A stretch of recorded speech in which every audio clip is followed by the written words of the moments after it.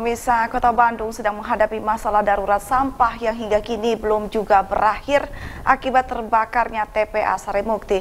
Di tengah musibah ini, sejumlah orang kreatif di Kota Bandung berhasil memberikan solusi pada pemerintah maupun masyarakat dengan membuat alat pengolah limbah plastik menjadi bahan bakar minyak.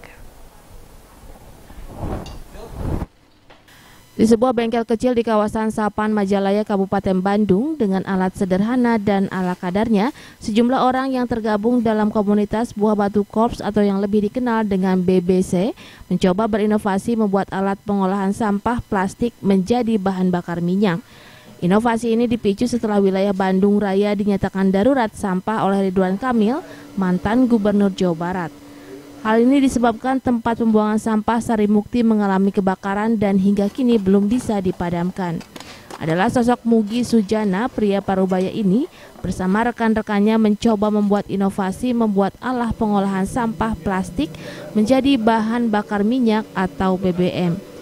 Pria parubaya yang saat ini menjadi ketua umum BBC mengatakan, alat ini yang biasa disebut pirolisis dapat mengubah limbah plastik menjadi bahan bakar alternatif Adapun proses mesin pirolisis yang mereka ciptakan sangat berbeda dengan yang ada di pasaran yang sering dilakukan uji coba para mahasiswa.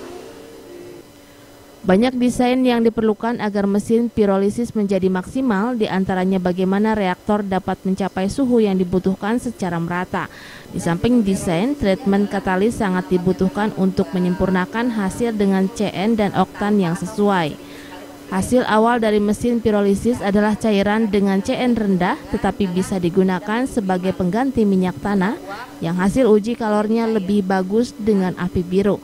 Adapun bahan baku yang bisa digunakan adalah plastik PP, styrofoam serta oli bekas.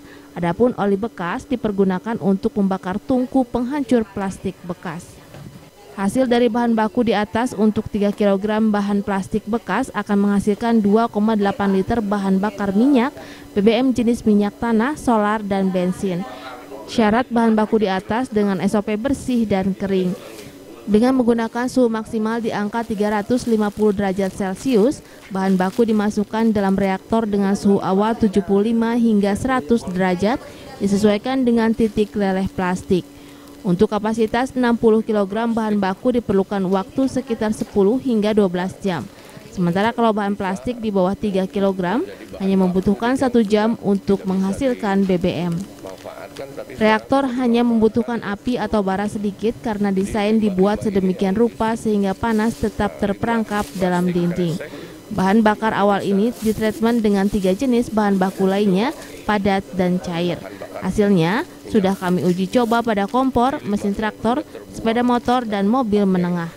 Dilihat dari fungsi dan manfaatnya, jelas bahwa mesin ini bisa dipakai untuk penuntasan limbah yang menghasilkan terutama untuk desa-desa dan wilayah-wilayah yang sulit bahan bakar.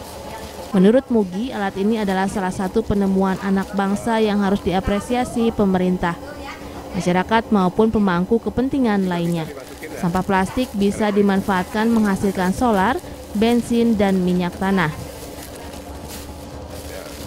Kemarin ada masalah-masalah sampah dengan kebakarannya di Sarimukti.